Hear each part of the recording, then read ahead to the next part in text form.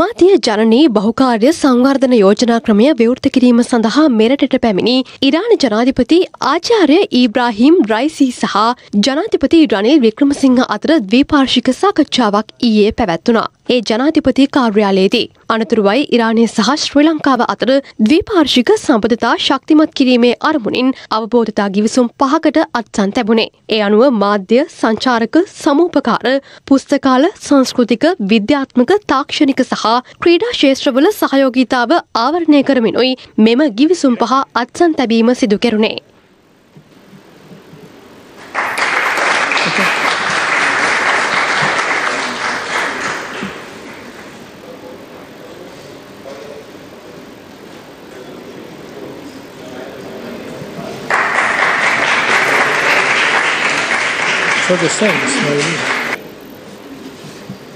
Dr. Ibrahim Raisi, the President of the Islamic Republic of Iran, මම මුලින්ම ස්තුතිවන්ත වනවා ඉරාන ජනාධිපතිවරයාට මගේ ආරාධනය පිළි අරගෙන මෙරටට පැමිණීම ගැන. උමාඔය බහුකාර්ය ව්‍යාපෘතිය තුළින් අපේ රටේ ජාතික විදුලි පද්ධතියට එක්වන විදුලි ධාරිතාව මෙගාවෝට් එකසේ විස්සක ප්‍රමාණයක්. මේ තුළින් අපේ රටේ ආර්ථිකයට වගේම මේ ප්‍රදේශයේ ජනතාවට ගොවිතැන් කටයුතුවලට විශාල දායකත්වයක් සැපයනවා. පසුගිය වසරේ අප මුහුණ දුන් ආර්ථික අර්බුදයෙන් ගොඩ එන්න ණය ප්‍රතිව්‍යුහගතකරණය කිරීමේ ක්‍රියාවලියේදී ඉරානය අපට දැක්වූ සහාය වෙනුවෙන් මම ඉරානයට ස්තුතිවන්ත වෙනවා. අප දෙපාර්ශවයේම උනන්දු උනන්දු වන ව්‍යාපාර සංවර්ධන ආර්ථික දේශපාලන වගේම සංස්කෘතික වැනි අංශ කිහිපයක් කෙරෙහි අවධානය යොමු කළා. කලාපේ පමණක් නොවේ මුළු ලෝකේම සාමය සහ ආරක්ෂාව වෙනුවෙන් ඉරානය සහ ශ්‍රී ලංකාව එකතු වෙනවා. එක්ව කැපවී කටයුතු කරනවා. පලස්තීන අර්බුදය සම්බන්ධව සෑම දෙනාටම පිළිගන්න පුළුවන් දේශපාලන විසඳුමක් වෙනුවෙන් ශ්‍රී ලංකාව පෙනී සිටිනවා.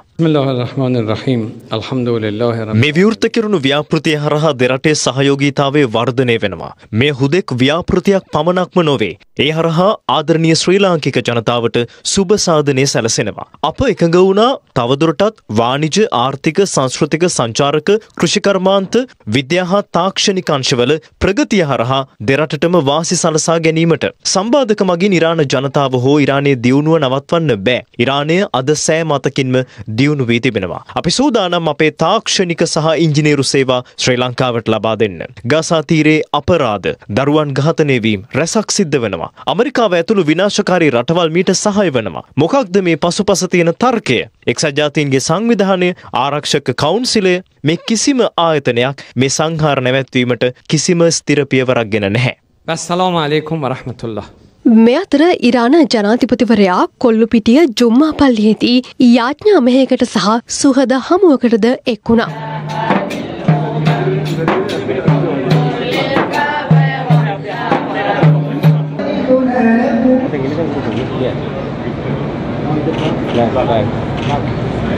අනතුරුව ඉරාන ජනාධිපතිවරයා ඇතුළු දූත පිරිස ඊයේ රාත්‍රයේදී දිවයිනෙන් පිටව ගියා.